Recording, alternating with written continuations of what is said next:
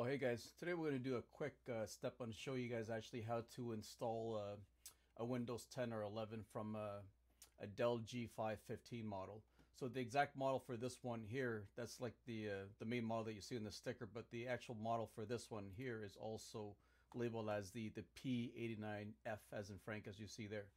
Um, so this is a pretty simple, uh, you know, and straightforward install. So um, just just what you have to do is just just remember this before you power on your system. Um, the only thing that you have to do is uh, the main function key that you actually have to, to press down to get your boot option menu is uh, the F12 keys because with this model here you don't have to go into the BIOS at all to enable your F12 or anything like that. So um, at least with this model here, it's a good thing because a lot of other models in the BIOS sometimes the the F12 function key or other function keys that allow you to to see you know your your bootable USB devices or other bootable devices uh, they're usually disabled sometimes. So you have to go into the BIOS and enable it first. So with this one here you don't have to go into the BIOS at all. So just remember when you power it on press and hold or hold down the F12 button right at the beginning. And um, and make sure that your your your Windows 10 or Windows 11 USB flash drive is plugged into one of the USB ports before you do this. So once you do do that and press on the F12 button what you should be seeing is this um, this is the first screen that shows up in your menu. So you, you see by default, it goes to the selection the Windows Boot Manager. So since I'm using a Kingston DataTraveler here that has my Windows 10 installed, which I'm doing for my client here, what you would do is you would use your up and down arrow key to navigate yourself to go downwards and make sure that the the uh, UEFI Kingston DataTraveler 3.0 is actually highlighted like you would see here. So once you've done that, all you have to do is just press the enter key oh, excuse me, guys. Press the enter key, and the first screen that you're going to see is this. You know, all you have to do is just click on the next button. So there's nothing to read about this. Click on the next button. then the next window will show up here is this window here.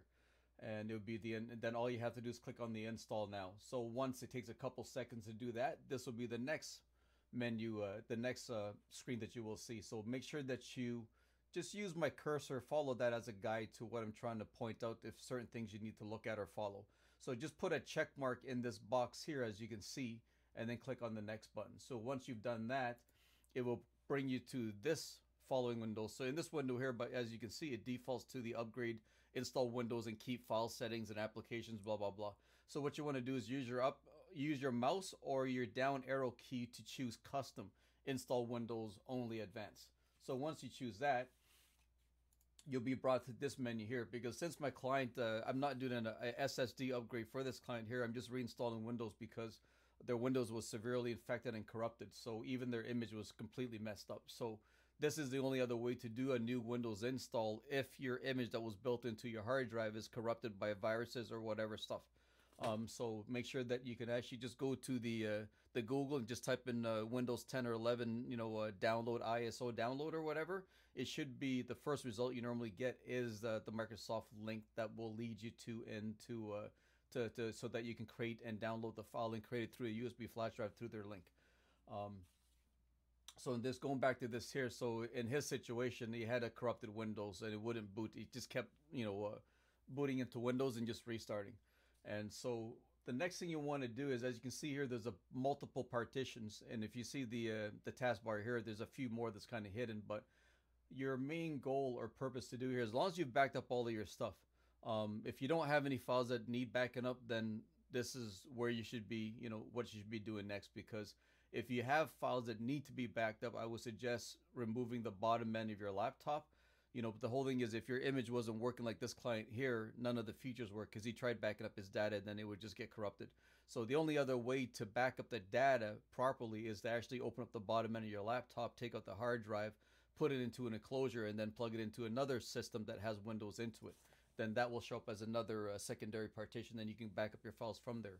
So going back to this here, let's say that you don't care or don't need the information that's in this hard drive, you've already backed up all your stuff, or you do frequent backups every month or every couple of weeks, then you can go ahead and choose every one of these partitions here. So once you select the first one here, just go down to the delete option here, which is at the bottom middle almost, and just delete every single one of these until you bring yourself. Once you've deleted the 8 to 10, whatever you see here, once you delete all of these here, you will actually eventually come up to one physical you know, hard drives, you know, capacity, which is this.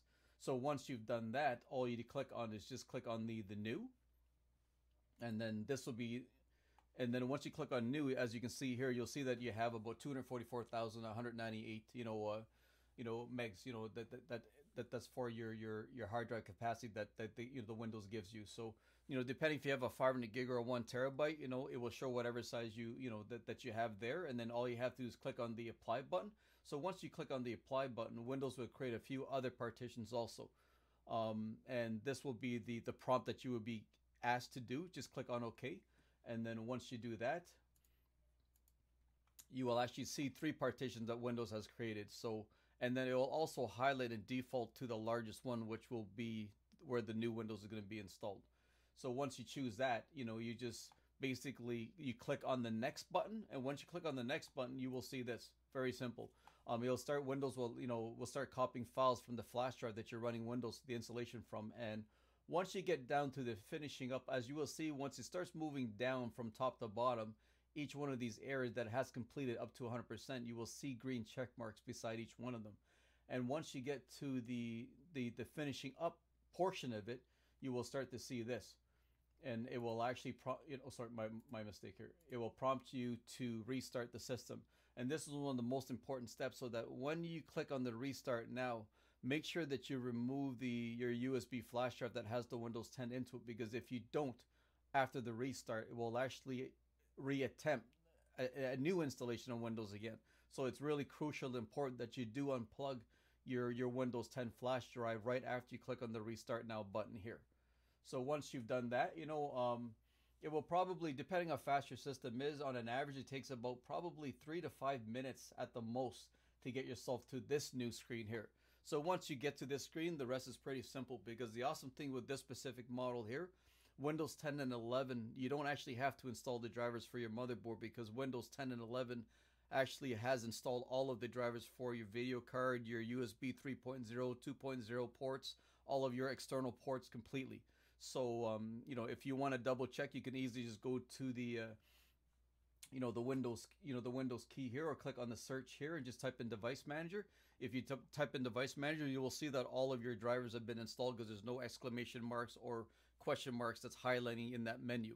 It's everything is installed. So I've double checked this for you guys. So if you actually have this exact same model, you know, uh, you will not need to install drivers or anything. Excuse me, guys, again. So just follow the uh, the prompts carefully because anyone can do this. So you know if you're in Canada or the U.S., you choose whatever region you're in, and then just follow through the next about I think four to five other windows that that will actually pop up in front of you, which will prompt you for a keyboard layout. I kind of just skip that or just click next, you know, and, and it's uh, it'll prompt you to get connected to the internet, um, type in your username, you know, your region settings and all the other stuff. So very very straightforward and very basic.